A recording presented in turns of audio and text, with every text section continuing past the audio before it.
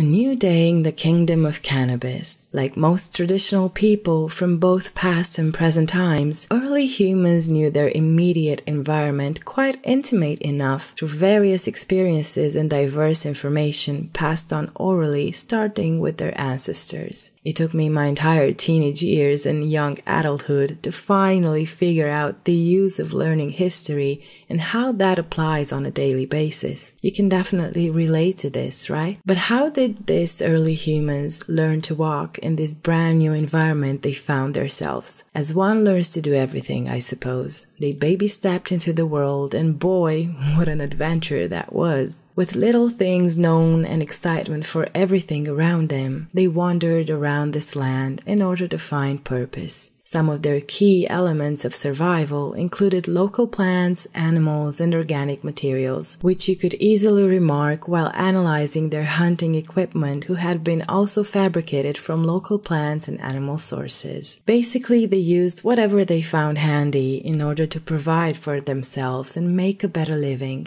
just like people from all over Disney kingdoms, especially now that Villain Ice Age was nowhere to be seen. While humans started figuring out life, King Cannabis was busy blooming somewhere by the river. What a life! Who wouldn't want to be king, right? As the newly introduced cannabis population started to grow larger and larger, so did their curiosity regarding mostly everything. They got to experiment processes of trial and error in order to find the true uses of cannabis or in Disney World to find the hidden agenda of their king. The surprise these people had was the fact that apparently their king had come bearing so much gifts and nothing maleficent. They learned that you could peel bark from the hollow cannabis stalk. They experimented with basically all the parts and chops that cannabis could allow one to experiment, getting to develop strong, durable, and waterproof cords as a basic step, which later turned into spinning yarn and weaving cloth with hemp fiber. When that epiphany happened, they realized that hemp fiber was basically their golden ticket, magic beans, or enchanted castle. Soon enough, they marked another stepping stone and unwrapped another gift King Cannabis has made. But this one was meant to reach their mind and core. The mind altering resin that could have opened new doors of perception for early people. This was also a gift that King Cannabis received from its very own bloodline, going way back to its ancestors. The group realized its many possibilities, and so they used this plant as a food supplement, a source of fiber, fuel, medicine, and they revered its psychoactive properties as a mental elixir for relaxation, recreation, and spiritual communication. Most importantly, they spread the news of their beloved King Cannabis cannabis's gifts